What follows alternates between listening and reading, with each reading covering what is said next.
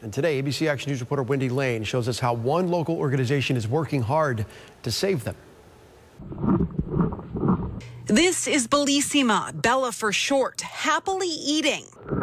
But about a month ago, things looked grim. If ever there was a manatee that wasn't going to make it, it was her. This picture, Bella, is hard to look at. She was found by a hiker, beached and starving. Very severe wounds, very underweight. He immediately called FWC's hotline and she was rushed to Zoo Tampa. It truly did save her life. Zoo Tampa is a nonprofit and they have only one of four manatee hospitals in the entire state. We get boat strikes here animals that are underweight. And right now, they tell me they are busting at the seams with manatees that need help, like Bella. And it's all part of a much bigger problem. 540 manatee deaths have been reported so far this year. That's three times the normal amount. Many manatees are actually starving to death. Save the Manatee president, Pat Rose, tells me manatees go into springs to seek warmth, but there's no food to be found. Due to too much pollution, that caused algal blooms that killed the seagrass,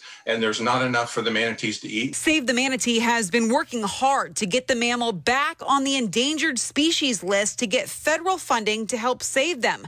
But Rose says the solution may be years away. They told me the most important thing people can do right now to help is to report a sick or dead manatee as soon as they see it and never feed them, even if they look underweight, because it could hurt them more. As for Bella, she is one of 80 manatees that have been rescued this year. She is still in critical condition and has to be given fluids and medicine every day. But she's gained 95 pounds and things are looking hopeful. The fact that she is doing so amazing is really, really exciting. In Tampa, Wendy Lane, ABC Action News.